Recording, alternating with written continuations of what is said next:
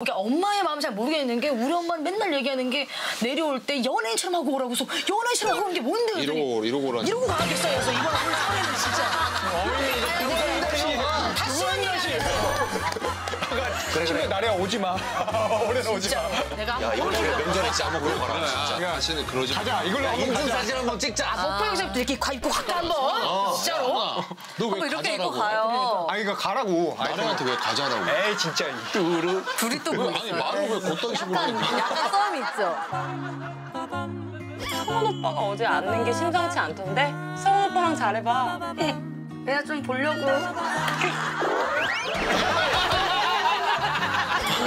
약간 썸이 약간 이상해 가자라고 해놓고. 아 쌈은 아니야 이 오빠 자꾸 진짜 꺼리는 있어 그렇지.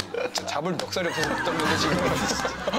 좀 아니 그때도 아빠 아버지 저 칠순 때도 어? 좀 조금 차려 입고 이렇게 오라 그랬더니 세상에 어떻게 그렇게 오고 저 사진 봐봐라 거짓말인가 왜 사진이 어떤데 뭐 뭔데 뭔데 봐봐 아 봅시다 한번 잘 입고 왔는데 그거 봐봐 뭐 처음 잘 입고 왔네. 뭐 사진 찍었을 때 그랬지 네. 근데 싫대요. 아빠가 좀 아픈 사람 같지 않다 그래서 좋긴 좋았는데 맞아.